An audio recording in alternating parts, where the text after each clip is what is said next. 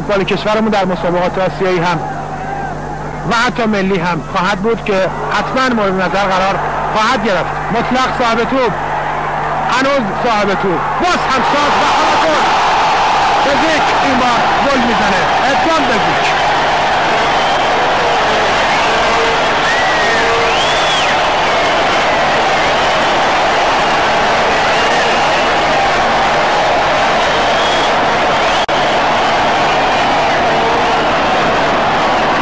نگاه کنیم.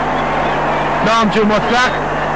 به یاد روزهای گذشته که در سمت راست همراه با جواد زرینچه روزهای بسیار خوبی رو سپری می‌کرد. حالا چنان حرکاتی رو انجام میده. سانتهای زیبا و گلساز.